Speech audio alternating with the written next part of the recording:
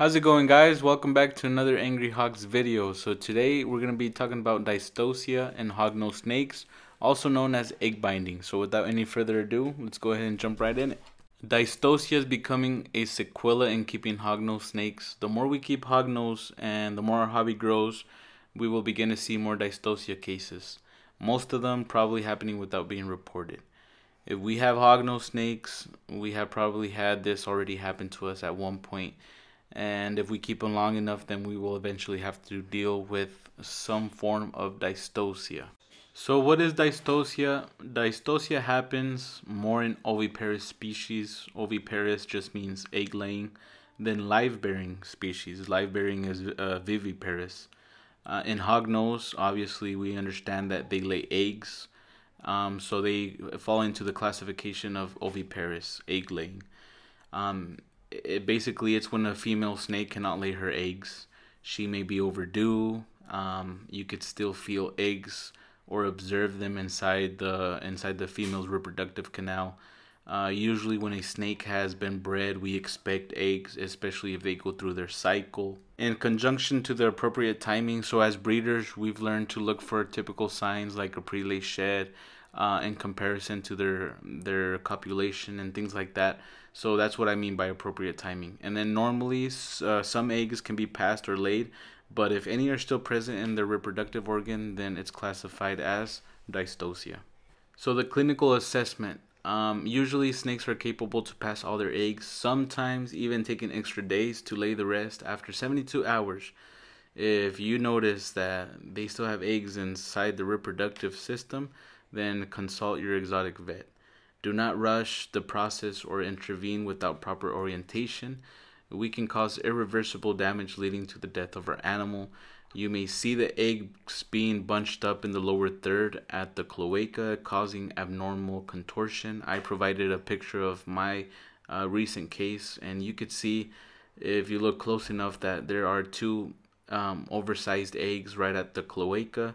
There is a lot of tearing and blood. That's because the eggs were abnormal and you could see how they're bunched up, uh, causing ab- like an abnormal contortion. Um, also, use caution when when palpating to assess your snake's situation.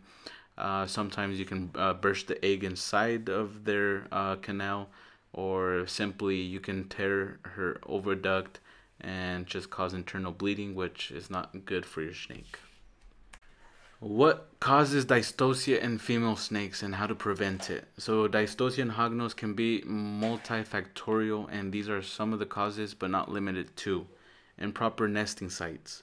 Make sure to have a lay box for them to induce egg laying or convert the enclosure to a nesting box. Stress can cause dystocia. Don't breed females that have undergone a big life change or simply are too young to breed. This will cause unnecessary stress and will create complications. Dehydration. Always offer your gravid females clean water and a bowl big enough uh, for them to soak in. Gravid females thermal regulate more. And also, bad nutrition or malnutrition uh, can cause dystocia. And make sure you offer your snakes a varied diet, supplement, and provide extra calcium for your uh, reproducing females. And then it's pretty self explanatory obesity. Obesity can cause poor egg laying performances. Do not overfeed your snakes and provide your female hognose with enough space and handle time uh, so that way they can get their exercise in. And then also salpingitis. Um, I mean, sometimes they can have like a bacterial infection in the reproductive system. Just make sure you keep good hygiene, uh, especially for your girls. Uh, clean their enclosures remove any any poops and things of that nature. Uh, change the substrate frequently because that bacteria can really cause havoc if it gets inside your your your female's uh, hognose uh, reproductive system.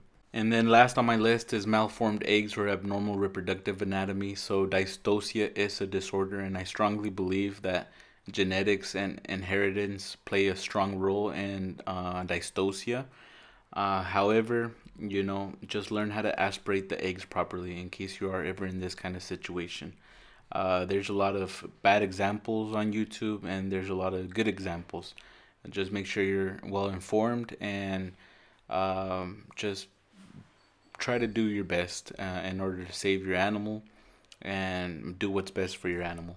And then in this last slide, we're going to talk about medical management. So basically the remedies and the solution for dystocia. If you're experienced, you can manage some cases of dystocia at home, while other types of dystocia will require a vet visit.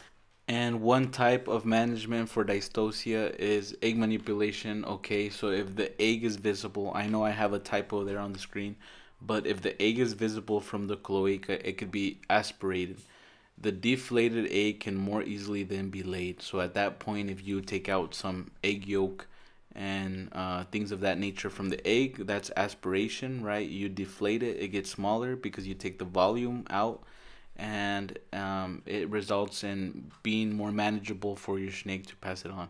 That's good for if you have like enlarged eggs or the or the snake has enlarged eggs.